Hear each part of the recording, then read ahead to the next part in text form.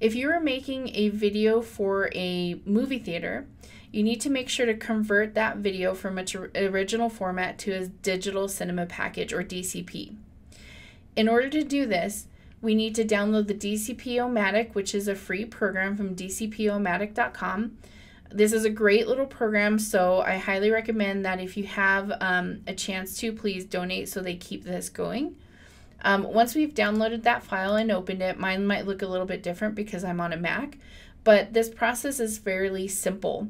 Um, what I'm going to do is first go to File, New, and create a new folder. That's what this is doing right here. And I'm sending this video to a theater, my local theater called Sands. And so I'm going to put this Sands Theater trailer. This will make the file name, and I'm going to choose where I want it to reside. So for right now, I just want it on the desktop, and I'm going to click OK.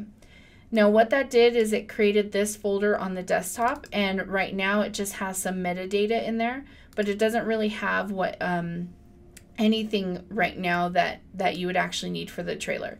So in order to do this, we need to add our video file. So I'm going to go find mine. You can um, look for wherever yours resides. I have two versions of this file. I have a 1920 by 1080, um, which is kind of the standard high definition, but I also have a 4K video. I don't know if this theater can handle 4K, like if the projector can do 4K or not. Um, and this one is 30 frames per second. This one is also 30 frames per second, but if it was 60 frames per second, again, I would need to check with the theater to make sure that they could handle that video. So I know that all theaters can handle 1920 by 1080 at 30 frames per second, which is the standard frames per second for NTSC video, which is what North America, or actually I should say the United States uses. Um, most other countries use PAL, which is I think like 24 frames per second. So, um, but because I'm in America and I bought my camera in America and I'm making it for an American theater, then usually it's gonna be it's gonna be fine. So um, I'll go ahead and click open and it's going to add that into my DCP-O-Matic program. And there's a couple things that I'll just go over quickly with you that you might not need, but um, it's there if you need it. So for some reason this was 3D video, you could choose 3D here. If you needed to crop it, like if you wanted to get rid of bars or things like that, or if the projector at the theater just needed the video to be tweaked a little bit um, because maybe the, the projector was cutting off one end or whatever the case may be. Um, you can also fade it in and out, and this is good. Like if there were multiple trailers for this theater, you don't want it to abruptly jump from one trailer to the next. So if you choose to do fade in, fade out, you can. This is hours, minutes, seconds, and frames. So again, there's 30 frames per second in standard um, American video. Um, if this was a 60 frames per second video and we know the theater could handle 60 frames per second, then this this would have the ability to go up to 60. So if I wanted it to fade in at the beginning um, by two seconds, I'd put two here. Or if I wanted it to fade out, I'd put two here. So I don't want to do any of that. Um, I'll do audio in a second because that is something we're going to adjust. Um, if for some reason you wanted to change um, the position where the video started, you could do that. And you could also trim um, the beginning and the ending of the video if it's too long. Um, so our video is 90 seconds. It's pretty good, but the problem with our video is the audio. So I'm going to go ahead and click show graph of audio levels Right now it's showing that it doesn't know it doesn't know the peak of the audio, so it's going to sample and look for the I think the highest peak. And you can see that it's hitting at zero decibels, which is actually really loud. And it's got some red stuff here. And if I do left and right, you can see there's right and then there's left. So um, you don't need to worry necessarily about that. You just need to know that it's showing that it's really loud. Um, and it says loudness range 3.05. So I'm going to go ahead and down here, once I close that, see how it now shows you the peak is at 0.12 decibels and it's red. What we're going to do is we're going to change the gain and we're going to lower it and you can see it went from red to yellow and we're to just keep going until it goes to black. So this is what happens when you're like watching TV and you're then the commercials come on and they're at a fairly even keel and then all of a sudden a car salesman comes on and he, he's just blasting and it's super loud and super annoying. So we don't want to do that to people in the theater. So if I come back in here, um, you can see that it's a little bit quieter now. So hopefully it's not to um, freak everybody out.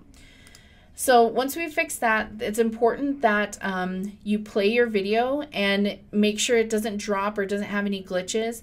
It might be a little bit choppy and that's pretty normal, but if you don't like that, you can try to play it a second time and hopefully that should smooth it out. Just the first time it might be a little bit more choppy. But I've played it twice before and it's really choppy and then I convert it to DCP and it plays fine in the theater. So if it's being choppy, just know that that might not really be how it plays. Um, so once I think I've got it good to go, I'm going to go to the DCP tab and make sure it has the right name. And then it's going to say, what kind of content is this? Well, it's not the feature film, so we don't want to choose that. And you can um, decide what all of these mean to you, like what is an advertisement versus a trailer. For me, an advertisement might be 10 to 30 seconds, and a trailer for me is going to be 90 seconds to three minutes. So because this is 90 seconds long and people are actually, you know, like being interviewed in it and things like that, I'm going to go ahead and choose trailer. And then it's going to say what kind of, um, uh, do you want a DCI flat scope? Just leave it a DCI flat. I actually don't know what those mean, but you can look them up if you if if you're having issues. Um, and then resolution again this i could have done 4k but this is a 2k video the version of the video i made that's 2k because again i don't know if the theater does 4k yet so same thing with frame rate. This is made at 30 frames per second. If it was uh, 60, again, I would talk to the theater manager. So um, once I have all those set, I'm going to go up to jobs and choose make DCP. Once I do make DCP, it'll come up with some hints. It's just saying that this isn't going to work on all projectors, especially um, like if I were to send this to, let's say, a movie theater in Canada, which I don't know why I would do, but let's say I was trying to, it's probably not going to play it correctly because it's not the right frames per second. So I'm going to go ahead and choose Make DCP. And it's going to start transcoding this. Now, just so you know, when it transcodes, it's in theory, it's supposed to take as long as your video. So since my video is 90 seconds long, it's going to take 90 seconds to transcode this. Sometimes that's true, sometimes it's not, and it's definitely not true if your computer isn't at the highest end. So my computer is a 5K computer and it's pretty, pretty good, but at the same time, it still took like two or three minutes when I transcoded this. So just be aware that the longer the video, the longer it's going to take to transcode, and the lower end your computer is, it's going to take even longer to transcode it. So just kind of plan your time around that.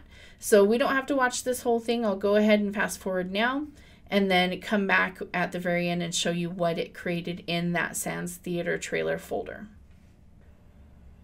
Okay, so it's almost done transcoding, and once it's done, I'll go ahead and open up this folder. Now, the reason why it's called DCP, or Digital Cinema Package, is because it's not just one file, it's a folder full of files, so that's why it's called package.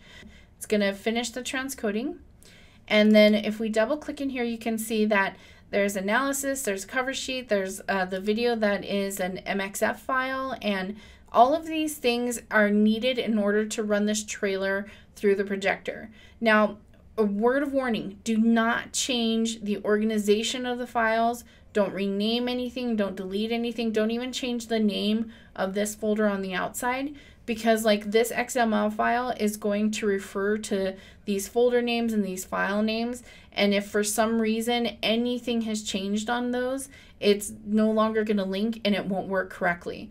So what you need to do now is you need to give this whole folder to the movie theater and that movie theater needs to take that folder and put it into their projection system in order to have it run.